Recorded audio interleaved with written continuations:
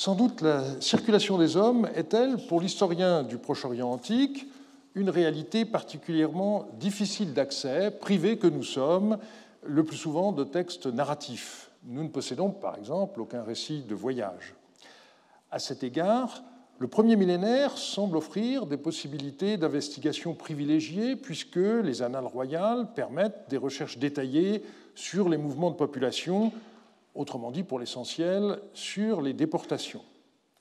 Mes recherches depuis 1976 sur les archives paléo-babyloniennes ont cependant fourni un certain nombre de pistes que je voudrais euh, aujourd'hui explorer une nouvelle fois en tenant compte, comme toujours, des textes euh, récemment publiés euh, qui permettent de compléter nos connaissances de manière considérable, vous allez le voir, pour certains des dossiers.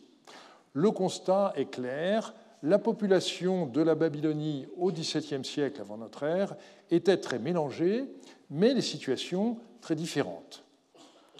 C'est un problème général de l'histoire des civilisations que celui des gens déracinés. Encore faut-il introduire des distinctions entre différents types de brassage des populations.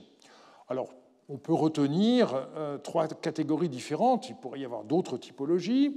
Les immigrés qui viennent d'ailleurs, mais plus ou moins de leur plein gré, espérant vivre mieux là où ils arrivent les exilés ou réfugiés qui ont dû quitter leur pays en raison de problèmes qu'ils y rencontraient, et enfin les déportés, dont le cas se distingue du précédent en ceci qu'ils ont été arrachés à leur pays d'origine par le pouvoir régnant dans leur pays d'accueil. Mais on voit en même temps la limite de ces catégories. Que faire des esclaves achetés à l'étranger? Ce ne sont pas, à proprement parler, des déportés, et pourtant, on verra, ils jouent un rôle euh, non négligeable. Alors nous allons commencer par étudier les groupes dont les ancêtres avaient dû quitter le sud euh, du royaume de Babylone après l'an 11 de Samsui-Luna, prolongeant ce que nous avons déjà vu l'an passé. Nous verrons ensuite comment vécurent les membres du clergé de Nippur qui durent se réfugier à Dourabiéchour dans le courant du règne d'Amiditana et qui y restèrent jusqu'à la fin de la dynastie. Et nous terminerons par euh, diverses autres catégories d'étrangers, les descendants de déportés, les mercenaires et les esclaves. Une catégorie sûrement importante numériquement dans la Babylonie du XVIIe siècle était constituée par les personnes réfugiées du sud sumérien. J'entends par là les habitants du sud de Sumer qui ont dû quitter leur ville dans les années 10 à 12 de Samsu et Luna dans des conditions que nous avons étudiées l'an passé. Alors, il est euh, impossible à l'heure actuelle euh, de chiffrer leur importance, euh, mais elle n'était certainement pas négligeable. Et certains d'entre eux sont bien documentés, à commencer par les descendants des habitants d'Uruk réfugiés à Kish. C'est le dossier le plus fourni, c'est également le premier qui ait été analysé de manière approfondie. Des documents avaient été publiés avant 1972 mais c'est le grand nombre de ces personnes dans les textes publiés dans le recueil Irécoès 13, auquel j'ai souvent fait allusion, qui a attiré l'attention sur eux. On trouve en effet dans ces textes, qui datent euh, des rois euh, Abieshur, Amiditana, Amitsaduka et Samsuditana, des individus voués au culte de divinités typiques du panthéon d'Uruk, à savoir Ishtar d'Uruk, Nanaya, et Kanisura. Et comme ces textes ont été publiés après les deux articles de euh, Johannes Renger consacrés au clergé paléo-babylonien en 1967 et 1969, il n'en existait pas d'études avant celle que j'ai publiée dans mon livre sur le clergé d'Our en 1986. Je cherchais euh, à l'époque à faire des comparaisons entre des gens euh, exilés, euh, les gens d'Eridou à Our d'une part, et puis donc euh, les gens d'Uruk à euh, Kish d'autre part. Et mon travail a été prolongé 12 ans plus tard par celui de Rosolpianka. La présence de ces réfugiés se manifeste par l'apparition soudaine dans les textes de Kish de trois éléments des divinités originaire d'Uruk, des titres caractéristiques et enfin une onomastique très typée.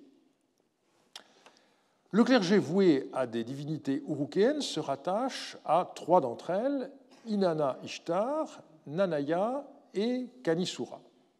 Donc la première, c'est Ishtar d'Uruk, dont le nom est écrit de différentes façons. Dingir Inanna Unuki, ou encore An Dingir Inanna, et puis parfois on ajoute Unuki, donc euh, littéralement euh, Inanna ou Ishtar d'Uruk, ou encore phonétiquement Urkitum, qui signifie celle d'Uruk, l'Urukéenne, sous-entendu la déesse d'Uruk. Ishtar était en effet la déesse par excellence de la ville d'Uruk. C'est par elle qu'étaient prêtés les serments dans cette ville. Et la question qu'on peut se poser, c'est de savoir pourquoi à Kish on précise qu'on a affaire à la déesse Ishtar d'Uruk. Eh bien, tout simplement parce qu'il existait une Ishtar locale, parfois désignée comme Ishtar de Kish ou encore Kishitum, hein, celle de Kish, euh, la déesse de Kish, et qui disposait euh, de son propre temple depuis longtemps. Et le temple voué à la déesse Ishtar d'Uruk s'en distinguait, comme le montre un texte qui est daté de l'an 13 de Samsui d'Itana et qui mentionne les offrandes régulières du temple de la déesse Ishtar d'Uruk. Les prêtres qui desservaient ce temple étaient nombreux. On connaît des administrateurs euh, Shangum, des lamentateurs, un barbier, un héros et surtout des purificateurs qui portaient le titre sumérien de Ishib, acadien Ishipum. On sait que la déesse Inanna Ishtar était identifiée à la planète euh, Vénus. Euh, comme vous le savez, Vénus est la deuxième planète la plus proche du Soleil, alors que la Terre est en troisième position, et c'est cette configuration qui fait qu'il nous est impossible d'observer Vénus en milieu de nuit. Dans notre ciel, Vénus suit ou précède de près le Soleil dans sa course, et tour à tour n'est visible qu'en début de nuit à l'ouest, on parle de Vénus du soir, et en fin de nuit à l'est, on parle de Vénus du matin. Et c'est cette invisibilité partielle de Vénus qui explique pourquoi on considérait en Mésopotamie qu'Ishtar descendait aux enfers, une dimension infernale qu'elle partage avec le dieu soleil Utu Shamash, qui chaque jour traverse les enfers depuis l'Occident où il disparaît jusqu'à l'Orient où il apparaît le lendemain matin. Et de fait, Shamash et Ishtar étaient considérés comme frères et sœurs. Et ce qui est intéressant, c'est que dans la mythologie sumérienne, euh, la déesse Inanna était censée avoir donné naissance à Nanaya et celle-ci à Kanisura, ce qui montre bien la proximité de ces trois déesses qui constituent en quelque sorte trois avatars euh, de euh, Vénus. Et de fait, Nanaya et Kanisura, dont le culte est bien attesté à Uruk, sont également attestés à Kish à l'époque paléo-babylonienne tardive. Alors Piotr Steinkeller a récemment fait le point sur la déesse Nanaya. Euh, attention qu'en dépit de la ressemblance de son nom avec le dieu Nana, elle n'a rien à voir avec la lune. Nanaya est attestée depuis l'époque III. Son culte était à ce moment-là exclusivement situé à Uruk, où elle avait un temple. Et donc, elle était une figure d'Inanna. Et euh, on a une fête du bateau céleste à Uruk qui était célébrée deux fois par an, au mois 7 et au mois 11, qui était un, élément majeur du calendrier religieux. La statue de la déesse Inanna Ishtar était promenée dans un bateau et des offrandes étaient également faites à Nanaya dans son temple. Je précise que le livre d'Abraham Merritt de 1924, La nef d'Ishtar, n'a pas grand-chose à voir avec la véritable mythologie mésopotamienne, quels que soient ses mérites par ailleurs. Mais revenons au texte de Kish d'époque paléo-babylonienne tardive. On y trouve plusieurs prêtres Shangum de Nanaya, un chef lamentateur, ainsi que deux prêtres qui portent le titre de Erib Bitim, littéralement entrant du temple. On passe enfin à la troisième figure, celle de Kanisura, connue dans les sources d'Urtrois comme Dingir Ga'an Surra. et à l'époque paléo-babylonienne comme Kanisura, et j'ai été heureux de voir que dans son article de 2013, Piotr Steinkeller citait une note que j'avais publiée en 1992, où j'ai pour la première fois proposé cette équivalence heureux qu'il reste encore quelques collègues en poste aux États-Unis. Euh, je ne dirais pas américain parce que Steinkeller est originaire de Pologne, mais enfin, ça explique sans doute pourquoi il lit le français euh, et il utilise nos, travaux. Fin de la parenthèse. Euh, Kanisura était dans le Panthéon la fille de Nanaya. Et à Kish, on connaît deux prêtres, Shangum, qui sont rattachés à son culte, sous Amiditana et Samsuditana. Et ce qui est très intéressant, c'est qu'on possède une lettre dans laquelle les trois déesses apparaissent ensemble. Je vous la lis. Asin Magir dit ceci, ainsi parle Nabi Enlil, que An Inanna, donc euh, Ishtar, et Nanaya te fassent vivre pour toujours par égard pour moi. Je viens de te faire porter 730 litres de farine sagou et 30 lignes de farine goussiga, mes offrandes matzratum, destinées aux déesses Aninana, c'est-à-dire Ishtar, Nanaya et Kanisura, mes maîtresses. Donne 10 litres de farine gou à Nidin Ishtar, le prêtre de Kanisura. Fais-moi porter une frange de vêtements ainsi que la réponse à ma tablette. Je viendrai te voir pour le rituel de l'ouverture de la porte. Prie pour moi devant Aninana et Nanaya, mes maîtresses. D'ici X jours, je t'enverrai Rushutum. Donc on voit cette triade formée par Ishtar, Nanaya et Kanisura qui sont désignés par l'auteur de la lettre comme mes maîtresses. Et c'est remarquable en ceci que ça correspond exactement aux trois déesses urukéennes dont on connaît les desservants à Kish à la fin de l'époque paléo-babylonienne. Et vous voyez que dans cette lettre, Kanisura a une place secondaire qui correspond aussi à ce qu'on constate dans les documents. Il ne peut s'agir d'un hasard. Alors le regret, bien sûr, qu'on a, c'est que cette lettre, euh, publiée par Thureau d'Angin dans TCL1, n'a pas de contexte archéologique connu, mais euh, il est très probable qu'elle provient de euh, Kish et qu'elle date de l'époque paléo-babylonienne tardive. Le bilan du clergé d'Uruk, attesté dans les textes de Kish à la fin de l'époque paléo-babylonienne, s'établit donc ainsi. Ishtar d'Uruk possédait des prêtres Shangum, un chef lamentateur, un barbier, un héros et des purificateurs, Nanaya, des prêtres Shangum, un chef lamentateur et des héribes bitim, et enfin Kanisura, un prêtre euh, Shangum. Or, ce qui est intéressant, c'est que certaines de ces charges sont attestées dans les textes découverts à Uruk même, dans le palais de Sinkashid, donc des documents qui sont antérieurs à l'abandon euh, du site euh, à partir de l'an 11 euh, de Samsu Iluna.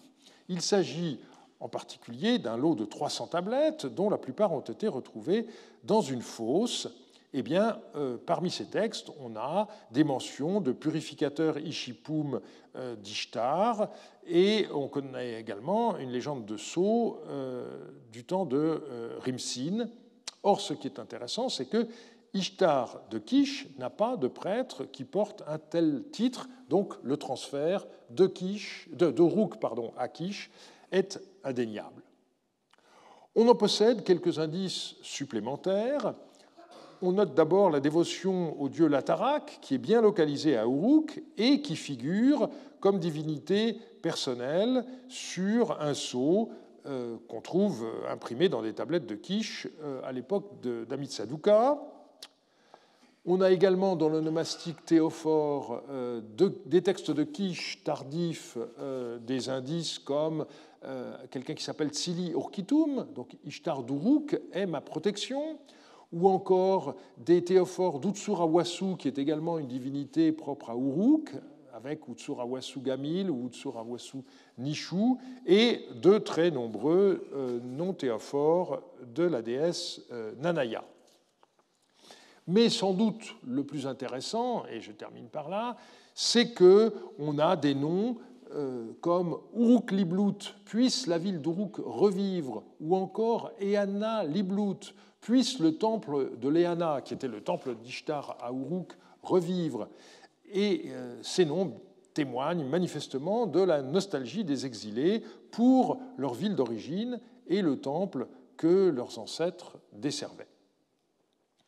Mais il n'y a pas que les habitants de Kish euh, qui aient euh, quitté le sud et se soient réfugiés en Babylonie du Nord après que les armées de Samsu-Iluna se furent retirées de leur région.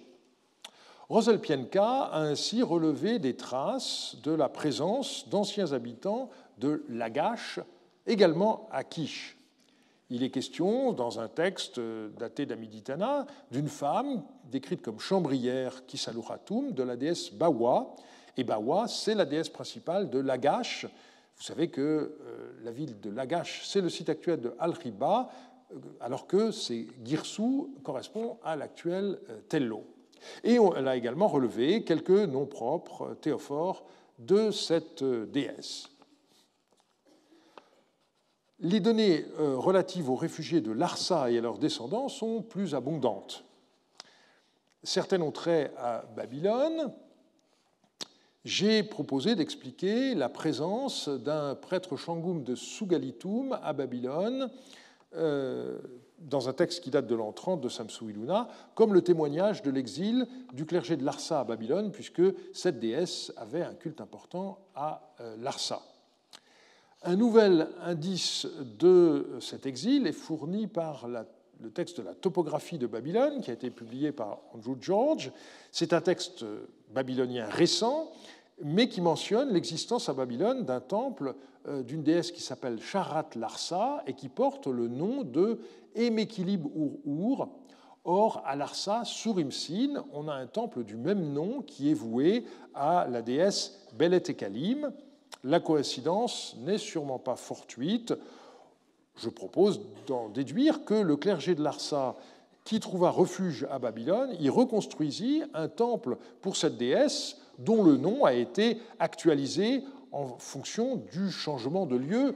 Belet Kalim, euh, c'était clair quand on était à Larsa que c'était une divinité de Larsa. Quand vous vous transposez à Babylone, eh bien, il vaut mieux l'appeler la reine de Larsa.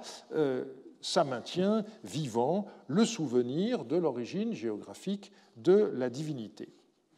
Mais tous les réfugiés de Larsa ne s'installèrent pas à Babylone. D'autres euh, prirent le chemin de Sipar, et je voudrais maintenant revenir sur le cas de Gémé à Salouri que nous avons euh, étudié déjà à propos de l'avènement d'Abiéchour.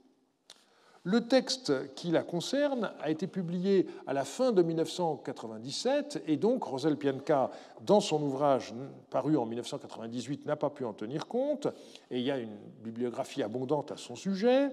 Donc vous vous rappelez que cette femme avait été emprisonnée pour dette et euh, libérée en raison de l'acte de Micharoum promulgué par le roi Abiéchour au moment de son avènement. Et en rentrant chez elle, elle découvre que son mari a entre-temps pris une nouvelle épouse et souhaite donc le divorce. Et par conséquent, elle réclame à son époux le remboursement de la dot que son père lui avait versée lors du mariage. Et euh, devant les juges, le mari déclare que les deux servantes qui faisaient partie de la dot sont mortes. Et quand les juges demandent à cette Guémé à Salouri de justifier le montant du reste de sa dot, elle fait une liste d'objets euh, variés, elle ne peut montrer de tablette. Et les témoins qu'elle produit indiquent qu'ils se rappellent bien qu'une dot a été versée, mais ils sont incapables de se rappeler le détail euh, de sa composition.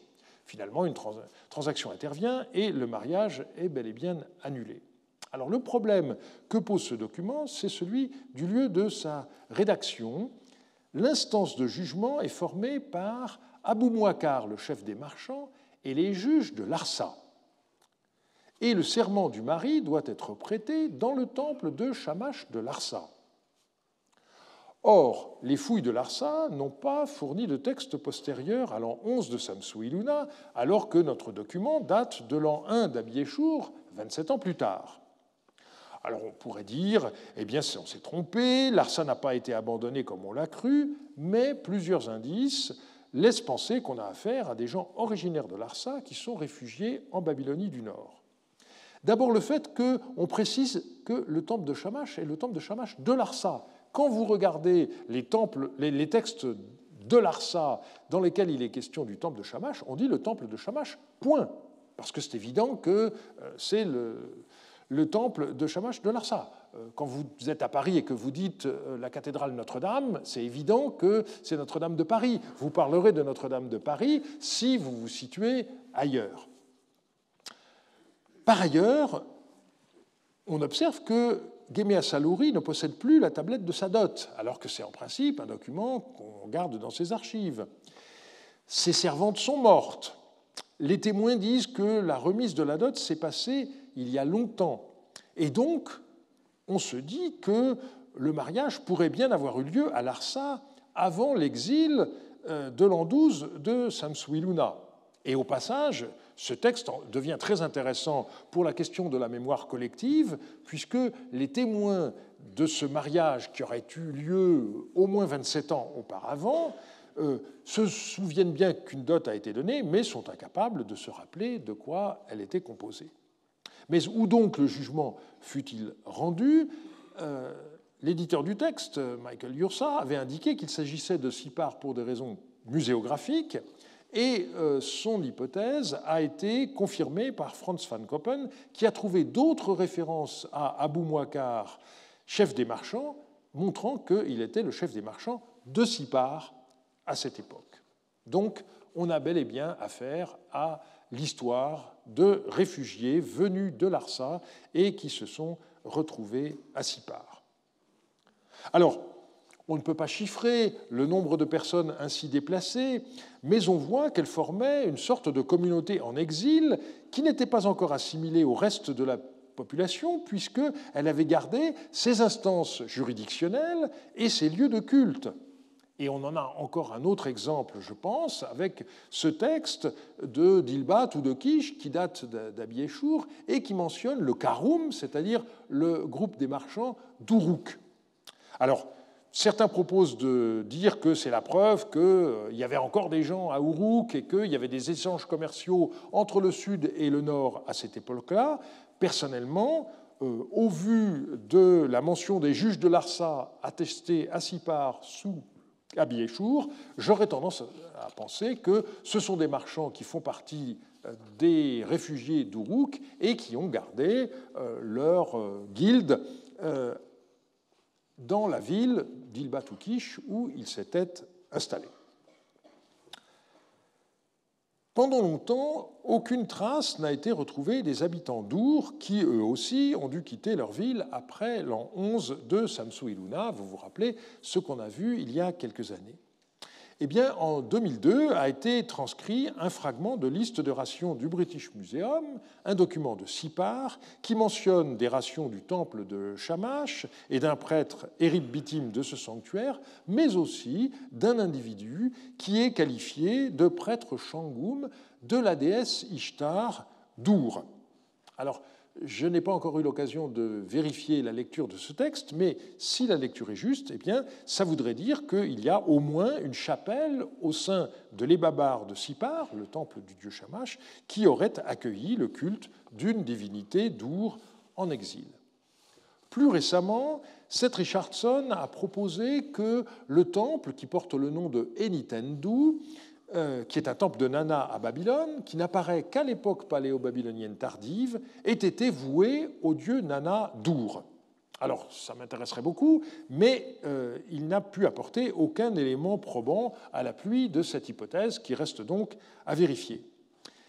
Mais il a euh, oublié un texte euh, très intéressant sur lequel j'avais euh, attiré l'attention il y a longtemps déjà, c'est le fait que dans une maison de Babylone, dans un niveau qui date de la deuxième moitié du règne de Samsu Iluna, eh bien, maison qui était occupée par un maître d'apprenti scribe qui s'appelait Marduk Natsir, on a retrouvé une inscription du roi de Larsa Waratsin relative à la muraille d'Our. Et donc on peut penser qu'il s'agit d'un élément euh, emporté à Babylone par un exilé originaire d'Our. Il y aurait là donc une trace supplémentaire d'un exil euh, des gens d'Our dans le nord. Manifestement, donc, on a affaire à des déplacements de population euh, qui ont été considérables, et c'est simplement parce que le clergé laisse le plus de traces écrites que euh, ce sont surtout des gens euh, du clergé qui nous sont documentés. Je vous rappelle que sous Samsu-Iluna, il est également fait mention assez souvent de jardiniers originaires d'Uruk dans la région de Dilbat.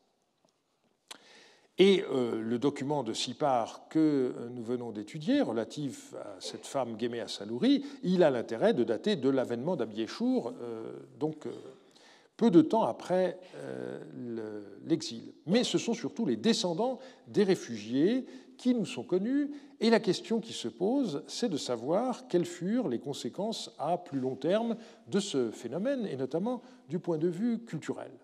Récemment, Seth Richardson a publié une étude à ce sujet et il a mis l'accent sur les noms d'années des quatre derniers rois de la première dynastie de Babylone en montrant que les objets voués et la terminologie étaient très clairement empruntés à ce qu'on trouve dans les noms d'années des rois d'Issine et de Larsa, donc dans le sud avant les conquêtes d'Amourabi. Et il attribue ce phénomène à la volonté euh, des rois, à partir d'Abiéchour, de prendre en compte la présence des exilés venus du Sud. Mais, comme je l'ai déjà indiqué, euh, il n'a pas tenu compte de la découverte de cette euh, inscription royale de Waratsin à Babylone qui permet d'envisager de façon concrète la transmission de la tradition sumérienne. Certains exilés auraient emporté avec eux des éléments de leur bibliothèque, permettant ainsi la survie du corpus. Alors, il faudrait bien sûr une longue enquête pour euh, poursuivre dans cette voie. Et puis on constate aussi la composition de nouveaux textes. Antoine Jacquet a ainsi montré qu'un manuscrit paléo-babylonien d'une lamentation à la déesse Ishtar avait été trouvé à Kish, et il s'agit à peu près sûrement du travail d'un exilé d'Uruk, donc la déesse déplore euh, le, fait d'avoir euh, dû abandonner son, temple euh, dans un texte qui a ensuite connu une grande fortune et qui est surtout connu par des manuscrits du premier millénaire. Alors on peut en outre poser quelques questions. Euh, la première concerne l'étendue du savoir euh, sumérien en Babylonie du Nord avant l'an 11 de Samsu-Iluna. Euh, c'est quelque chose sur lequel finalement on n'est pas bien renseigné, mais il me semble que le phénomène de sumérisation, en fait, il remonte à l'annexion du royaume de Larsa par Hammurabi je l'avais déjà indiqué, euh, on a des inscriptions bilingues euh, précisément en sumérien et en acadien à partir euh, de ce moment-là. Et la présence de réfugiés à partir de l'an 12 de Samsu-Iluna n'aurait fait que renforcer un phénomène qui existait déjà. Et puis, il faudrait réaliser un gros travail de paléographie sur les manuscrits des textes sumériens littéraires issus des fouilles clandestines ou anciennes pour essayer de déterminer ceux qui ont été copiés après le règne de Samsu-Iluna et qui par conséquent proviennent à peu près sûrement du nord, euh, mais ceci évidemment serait un travail considérable. J'en viens au deuxième point qui concerne le clergé de Nippur, réfugié à Dour Abiéchour. Dans mon livre de synthèse sur l'époque paléo-babylonienne, paru en 2004, j'avais écrit en conclusion de la section consacrée à l'exil des populations du sud sumérien, on doit aussi indiquer que nous ignorons tout du sort des lettrés de Nippur lorsque les archives de la ville se taisent en entrant de Samsu-Iluna, un exil du même type que celui des habitants du sud se produisit-il? Et je renvoyais au livre de Rosel Pianka ainsi qu'à la recension que j'en avais publiée. Eh bien, un des grands avantages de la syriologie, c'est que euh, souvent, euh, de son vivant, on peut avoir la réponse à des questions aussi fondamentales que celle-là.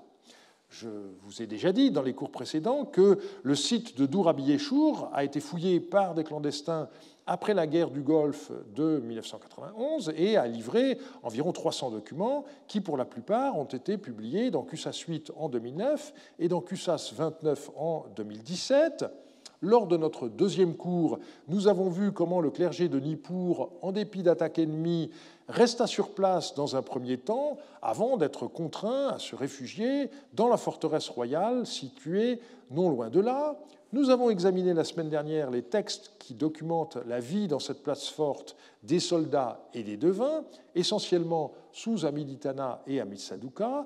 Eh bien, les textes les plus tardifs qui proviennent euh, de Dourabiéchour semblent avoir constitué les archives d'un prêtre qui porte le titre de Neshakum, qui était nommé Enlil Mansoum, et euh, qui est mentionné dans pas moins de 24 textes qui couvrent une période de 23 années, de l'an 5 d'Amitsaduka jusqu'à l'an 5 de Samsuditana.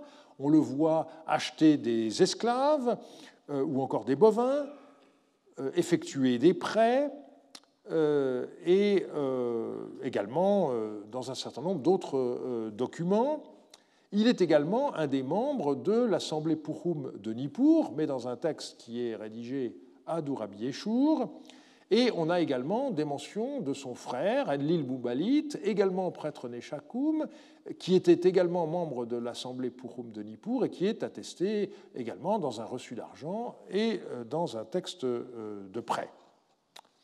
Eh bien, si l'on regarde euh, la liste des témoins de tous ces contrats tardifs, euh, et notamment donc ceux euh, appartenant aux archives d'Anlin Mansoum et de son frère, on voit les noms et titres de nombreux membres du clergé de Nippur qui s'étaient réfugiés à Dour, à Biéchour. Et on voit la très grande continuité dans la vie de ces gens-là entre ce qu'on connaît de leurs prédécesseurs à Nippur et euh, eux-mêmes vivant en exil. Cette continuité se marque dans l'anthroponymie, dans les titres et dans les pratiques cultuelles. J'ai étudié cela tout récemment et donc je vous donne maintenant la primeur des résultats d'une publication qui devrait paraître prochainement. L'anthroponymie des textes de Dour euh, se caractérise globalement par une proportion de noms sumériens qui est inhabituelle à l'époque paléo-babylonienne tardive.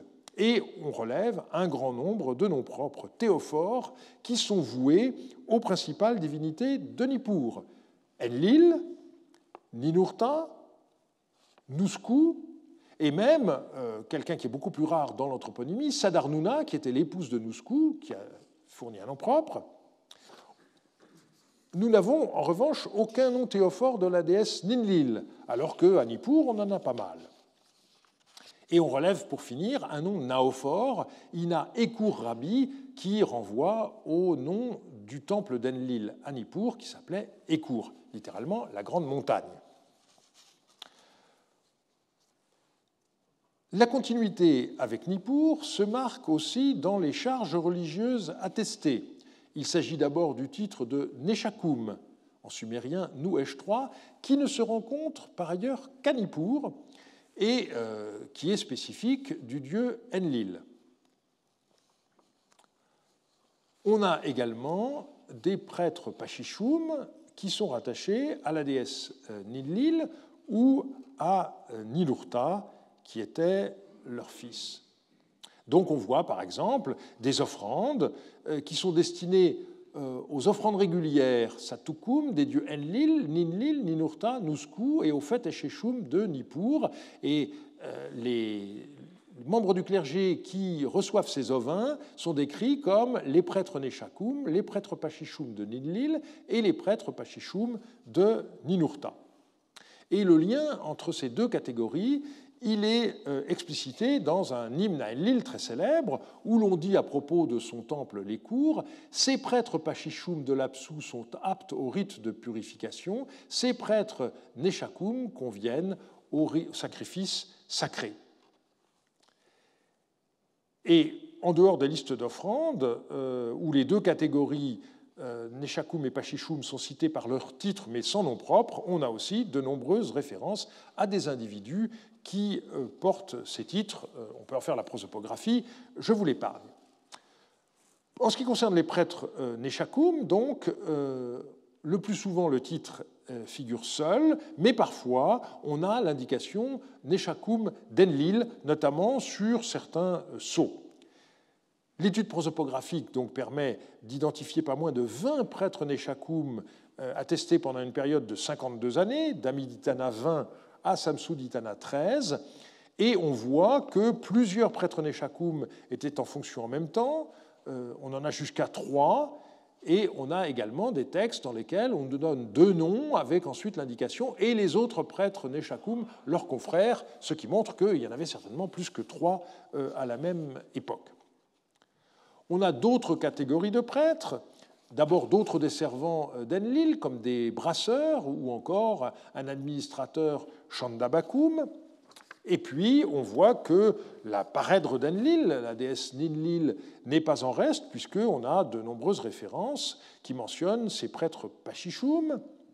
Et il en va de même pour le dieu Ninurta, qui était le fils d'Enlil et de Ninlil, et le dieu protecteur de la ville de Nippur.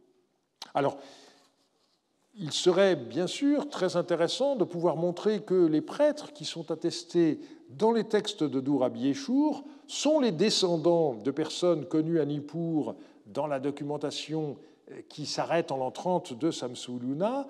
Euh, en dépit de mes efforts, je n'ai pu trouver aucun exemple, mais quand on y réfléchit, ça n'est pas très étonnant vu la césure chronologique qui existe dans notre documentation. Euh, le dernier texte de Nippur, en l'an 30 de Samsu Iluna, est suivi par une lacune de 55 ans, puisque c'est seulement euh, à partir de l'an 20 d'Amiditana qu'on voit euh, apparaître à Dour Abiéchour euh, du clergé originaire de Nippur, et donc 55 ans, c'est trop pour qu'on ait un lien direct entre les uns et les autres. Malgré tout, la continuité ne fait pas de doute, et elle se voit de plusieurs manières dans la piété ou dans les cultes. On peut d'abord citer une lettre sans adresse euh, qui est très intéressante par sa bénédiction. Puisse Enlil, Ninlil, Ninurta et Nuskut, tes créateurs, te guider, ô mon Père, dans la santé et le bien-être.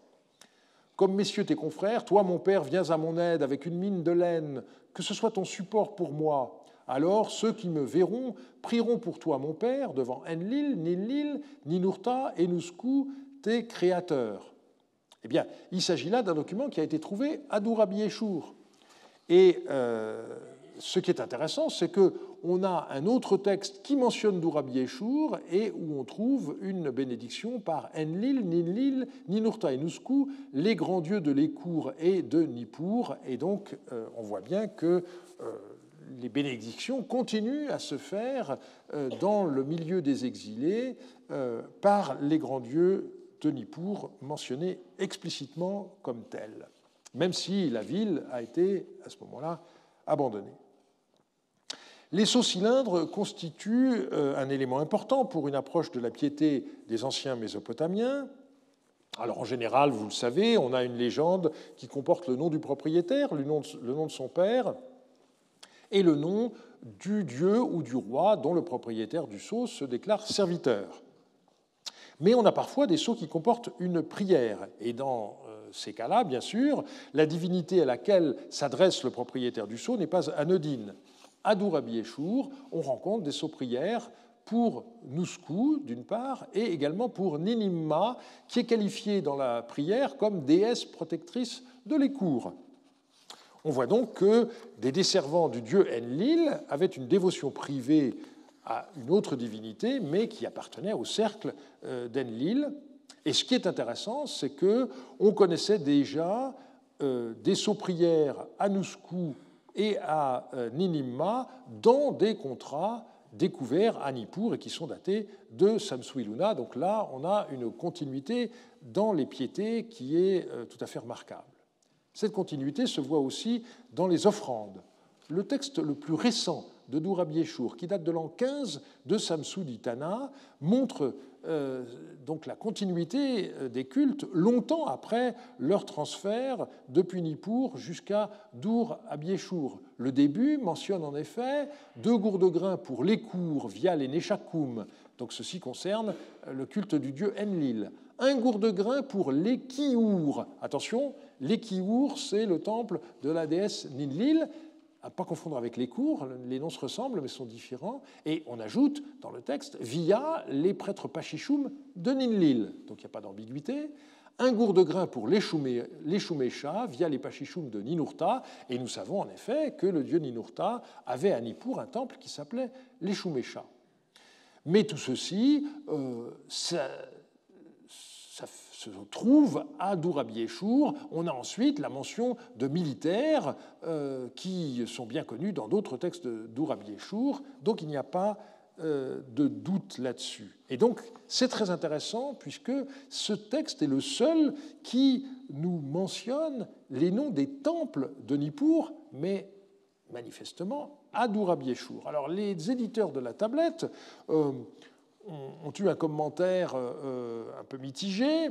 Euh, ils disent Van Lerberg et Voet, donc dans la publication de Cussas 8, considèrent la mention de l'écourt dans ses archives comme un nouvel écourt d'Andourabiéchour.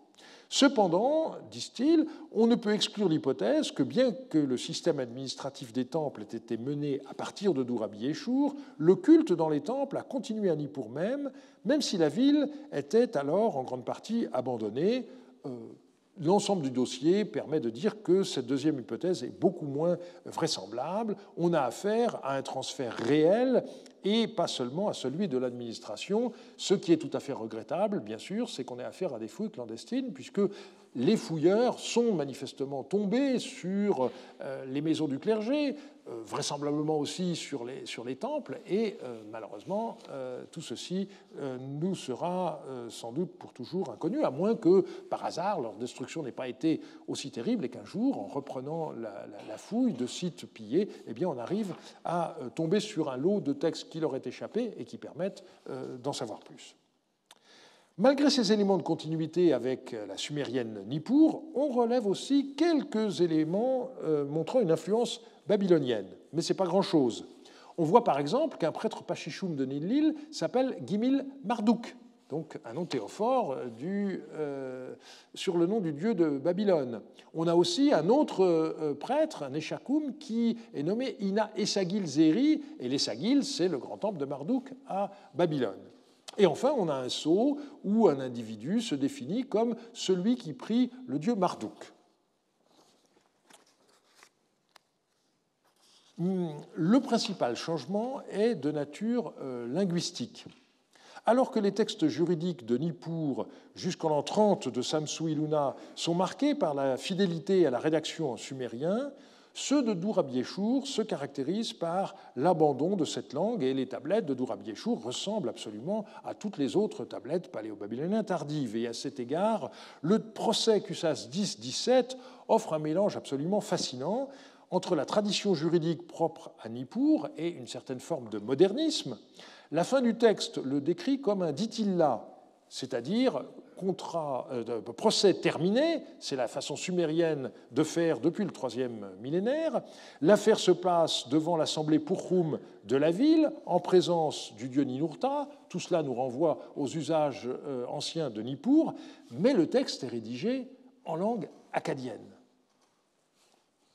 Enfin, il faut mentionner le désir des exilés de retourner dans leur ville d'origine. Donc j'ai déjà parlé des noms propres Uruk Liblut ou Eana Liblut. Eh bien, on rencontre pour les réfugiés de Nippur la même chose. On a le nom propre Nippur Liblut, puisse Nippur revivre, et on a également un deuxième euh, nom propre qui est en sumérien cette fois, Duranki Reti, puisse Duranki revivre. Duranki, ça peut être soit le nom du temple de la déesse Inanna à Nippur, euh, soit la ville même de Nippur, mais euh, quoi qu'il en soit, c'est un nom qui témoigne, là encore, de la nostalgie d'un euh, exilé, ancien habitant de Nippur.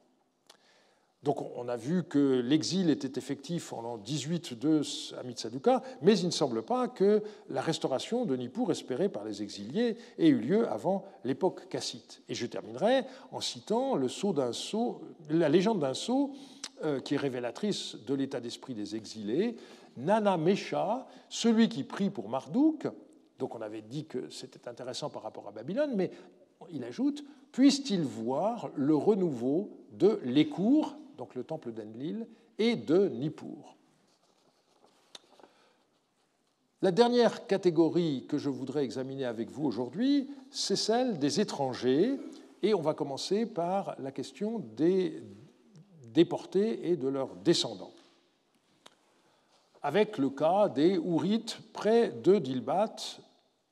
Il se trouve en effet que dès la publication de VS7 en 1909, Ungnad s'est rendu compte que dans les documents euh, paléo-babyloniens tardifs de Dilbat figuraient des individus porteurs de noms ourites qui n'étaient pas des esclaves. Alors, la langue ourite est attestée dès le troisième millénaire, mais surtout au deuxième. C'était la langue des souverains du Mitanni dans la deuxième moitié du deuxième millénaire. Et euh, pendant très longtemps, en dehors de la longue lettre trouvée à El Amarna, qui date du XIVe siècle, les témoignages de cette langue ont surtout été des noms propres. Et puis en 1983, on a eu une série de bilingues en ourite et en hittite qui ont été découvertes à Hattusha, qui ont relancé l'étude de la langue. En 2001, on a découvert sur le site de Katna des lettres qui mêlaient de façon surprenante les langues acadiennes et ourites. Mais si on revient au nom ourite de Dilbat, euh, il faut dire que euh, leur étude avait été reprise par Gelb en 1944, qui était parvenu à la conclusion que je cite, les Ourites dans ces documents semblent former une colonie centrée autour de cette seule cité. Et dans le premier article que j'ai publié en 1977, j'avais repris l'analyse de ces noms propres, dont le nombre venait d'être augmenté par la publication d'YOS 13 par Finkelstein. J'avais abouti à une liste d'une douzaine de noms ourites sûrs. Euh, et euh, ces noms euh, ne figurent pas dans le recueil récent de Thomas Richter parce que celui-ci s'est limité aux noms ourites paléo-babyloniens attestés dans des textes provenant du Moyen-Euphrate et de Mésopotamie du Nord. Et évidemment, c'est un peu dommage puisque euh, ces noms, en réalité, sont également des témoignages concernant la Mésopotamie du Nord. On va voir tout de suite pourquoi. J'avais souligné que dans cinq cas, les noms euh, étaient ceux des pères d'individus euh, qui jouaient un rôle dans le texte. Hein, on voit Wedum Liblut, qui est un bon nom babylonien, fils de Agaptare, qui est un nom ourite, ou encore Shamash Magir, nom babylonien, fils de Agaptare. Et il n'y a qu'un nom euh, qui soit euh, l'inverse. eh bien, on a aussi euh, une mention qui est très intéressante, c'est celle de Etelpou, le frère de Dupachenna. Etelpou, c'est un nom babylonien, Dupachenna, c'est un nom ourite, et donc on voit que dans une même famille, à ce moment-là, on pouvait donner aussi bien euh, un nom ourite qu'un nom euh, babylonien. L'étude prosopographique à laquelle je m'étais livré montrait que les individus porteurs de noms ourites, ou bien ceux dont le père avait un nom ourite, paraissaient bien intégrés à la société babylonienne, et donc parler de colonies ourites euh, était certainement euh, exagéré, et leur cas était très différent de celui des Cassites mentionnés dans les textes de la même époque. Et puis ce qui était curieux, c'était que on ne retrouvait pas de nom ourite dans la documentation de Sipar ou de Kish de la même époque. Et donc la question est de savoir, mais enfin, d'où venaient ces gens-là? Eh bien, la suite de la documentation euh, a permis de donner la réponse, avec notamment la parution d'YOS 12. Ce sont des textes qui appartiennent aux archives de Palmeret, dans la région au sud de Dilbat, dont Franz van Koppen a montré qu'ils étaient originaires de Tel Abou antique, euh, qui s'appelait dans l'Antiquité Picassie, et c'est un site tout près de, Dilbat. On avait notamment des documents administratifs illustrant la livraison de dates à des Touroukéens. Et les Touroukéens sont des gens euh, qui, euh, au départ, se situaient dans les montagnes du Zagros, au nord-est d'Arapra, l'actuel Kirkouk. Et on avait aussi d'autres lettres qui euh, mentionnaient des gens originaires de Kakmoum ou d'Arapra et qui étaient intégrés dans les maisons de jardiniers. donc, Kakmoum, Arapra, Touroukéens, ça rappelait tout à fait le nom de l'an 37 d'Amourabi, année où le roi Amourabi, grâce à la grande puissance de Marduk, a renversé au combat les armées de Turukum, Kakmoum et du pays de Shubartum.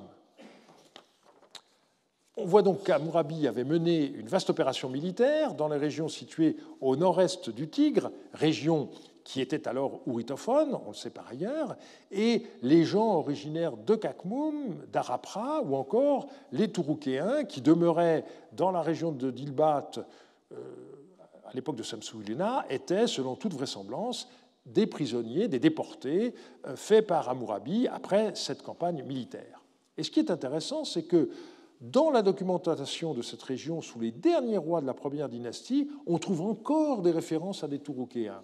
Dans un texte d'Abiéchour, on voit un individu euh, qui, dont la propriété de quatre champs est confirmée. Eh l'un des voisins, c'est Ibnia le Touroukéen.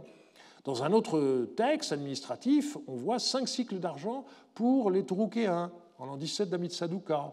Et enfin, on voit dans un texte qui date de l'an 11 de Samsouditana, parmi les apports d'argent énumérés dans le texte, dix cycles d'argent par l'intermédiaire de Sin Ibni le Touroukéen. Donc, des gens qui sont propriétaires de champs, qui portent désormais des noms babyloniens, comme Ibniya ou Sinibni, donc qui manifestement ont été intégrés à la société babylonienne. Leur, leur, importance numérique reste difficile à euh, estimer, mais pour qu'on en ait autant de traces, c'est qu'elle n'était pas négligeable. Donc, on a des descendants de déportés. On a aussi des mercenaires, euh, j'en ai déjà parlé, et on y reviendra dans le dernier cours, euh, notamment à propos des euh, cassites. Et on a également des esclaves, et je voudrais terminer en indiquant ce qu'on sait à leur sujet. Alors, D'abord, il faut bien dire qu'il n'y a rien de nouveau à la présence d'esclaves. Euh, l'esclavage domestique, c'est une constante dans la Babylonie, euh, au moins à partir du début du deuxième millénaire. Les esclaves servaient notamment à approvisionner les maisons en eau, à moudre la farine euh, chaque jour, qui servait à la nourriture de la maison, à aider également aux soins corporels. Hein. Les esclaves étaient chargés de laver les pieds de, de, de leurs maîtres lorsqu'ils venaient de l'extérieur. Et donc, posséder un ou plusieurs esclaves, c'était la marque de l'aisance, euh, bien qu'on ne puisse malheureusement pas faire de statistiques sur le nombre de personnes qui possédaient des esclaves, ni euh, sur le nombre d'esclaves possédés en moyenne. Alors, on a un corpus euh, de contrats de vente d'esclaves pour l'époque paléo-babylonienne tardive qui a été étudié par Franz van Koppen en 2004, et il a mis en évidence une réglementation du commerce des esclaves qui semble avoir été instituée à partir du milieu du règne de Samsu-Iluna. L'origine de l'esclave a dès lors été systématiquement indiquée. Le scribe signalait qu'il s'agissait d'un esclave né à la maison, on disait en acadien Willid Bitim, ou bien, dans le cas d'esclaves nés à l'étranger et achetés à un marchand, euh, on indiquait la ville d'origine. Et puis, euh, on a une euh, clause supplémentaire qui a été introduite un petit peu plus tard, qui disait que l'acheteur avait trois jours pour mener une enquête, c'est le mot acadien tebitum qui, est employé, qui permet de vérifier l'information donnée par le vendeur et euh, si celle-ci se révélait inexacte, eh bien la vente était annulée. Lorsque Franz van Koppen a publié son étude, il y a 15 ans, le corpus comptait 37 contrats. On peut désormais ajouter 12 autres euh, qui euh, sont tous originaires de Dourabiéchour. Et là encore, vous voyez à quel point la documentation se renouvelle, puisque c'est une hausse de près d'un tiers en 15 euh, ans. Alors d'abord, en ce qui concerne les prix de ces esclaves, on voit qu'ils varient entre un peu plus de 6 cycles d'argent et 32 cycles. Donc euh, une moyenne de 15,42 cycles et une valeur modale légèrement inférieure entre 14 et 14 cycles et demi. Ce qui est intéressant, c'est la différence selon les sexes. Les esclaves masculins valent en moyenne un petit peu plus de 12 cycles, alors que les esclaves femmes valent euh, un peu plus de 16 cycles. Et ceci s'explique puisque euh, eh bien, les esclaves femmes ont un potentiel reproductif qui est bien sûr intéressant pour les maîtres. Et donc le prix des esclaves femmes tient compte du fait qu'elles vont mettre au monde des enfants et que les enfants d'une femme esclave sont esclaves du propriétaire euh, de euh, la femme esclave. En ce qui concerne l'origine géographique des esclaves, on en voit trois euh, qui sont euh, qualifiés de nés à la maison, deux d'entre eux originaires de Nippur et un de Damroum, une localité proche de Kish. Et euh, ces cas sont intéressants parce qu'ils conduisent à modifier une des conclusions de Franz van Koppen. Dans son corpus, il n'y avait de Willid Bitim que provenant de Babylone. Et il en avait conclu, il avait un corpus de six exemples, que c'était la première fois qu'on voyait le nom de la capitale utilisé pour désigner euh, le royaume. Eh bien, en fait, c'était le hasard de l'échantillon. On a des Wilid Bitim de Babylone, mais aussi des Wilid Bitim de Nippur ou de Damrum. Donc, Babylone, dans ces textes, désigne bien la ville de Babylone et pas le royaume. Et quand on veut désigner une région et pas une ville précise, eh bien, on utilise le nom de la région. On a un texte qui, euh, publié là encore après l'étude de euh, euh, Franz van Koppen, qui parle d'un Wilid Bitim du Suchum, c'est-à-dire cette région du Moyen-Euphrate. Par ailleurs, on voit deux esclaves qui proviennent d'un butin, Kishitum, euh, d'une ville qui s'appelle Kakalla ou Kagala. Euh, on aimerait en savoir plus euh, sur les conditions dans lesquelles ce butin fut fait, mais il faut se contenter de ces deux mentions. Et puis on voit des esclaves qui ont été achetés à l'étranger, parfois dans des villes bien connues, comme Suse en Elam, ou encore Andarig, dont le scribe a précisé que la ville était, faisait partie du Matbiritim. Alors c'est intéressant parce que le Matbiritim, c'est le pays euh, intermédiaire, sous-entendu, entre le Tigre et l'Euphrate. Donc la façon de désigner ce que plus tard les Grecs ont appelé la Mésopotamie. Et euh, il y a eu euh, une étude de Finkelstein à ce sujet, et elle doit être modifiée puisque pour Finkelstein, eh bien, le Matbiritim était situé plus à l'ouest, alors que maintenant qu'on a Andarig, qui est une ville située au sud-est du Jebel Sinjar, eh bien, on voit que c'est bel et bien ce qu'on appelle en termes euh, géographiques arabes la Jezireh, euh, euh, qui était désigné ainsi comme le Bat Biritim. Et on voit également l'intérêt des mentions du Shubartum. On voit la ville de Riplat, sans doute Riwilat, la Riwilat des textes de Marie, qui est également mentionnée, c'est-à-dire les régions situé cette fois à l'est du euh, Tigre. On voit donc à quel point la population de la Babylonie sous les quatre derniers successeurs d'Amourabi avait une population mélangée. La présence d'esclaves achetés à l'étranger était sans doute une constante, et c'est le fait que leur origine fut notée dans les contrats qui est nouveau. En revanche, on relève un double phénomène de fond L'un est la conséquence de la grandeur passée du royaume. On trouve les descendants des populations déportées par Amourabi à la suite de ses grandes victoires. Et l'autre est, à l'inverse, la conséquence des défaites ayant eu lieu sous Samsou Iluna et par la suite, qui a contraint à accueillir dans le nord de nombreux réfugiés venus du sud, dont les descendants étaient toujours visibles en tant que tels sous Samsou d'Itana. Enfin, de nombreux mercenaires d'origine étrangère, cassites et autres, étaient en garnison dans les forts qui protégeaient le royaume contre les dangers venus du dehors, une situation euh, qui n'était pas sans risque, comme nous le verrons en analysant les causes de la chute de la euh, dynastie. En attendant, la semaine prochaine, nous braquerons notre projecteur sur une zone particulière aux marges du royaume, à savoir la région du Moyen-Euphrate, et je vous remercie de votre attention.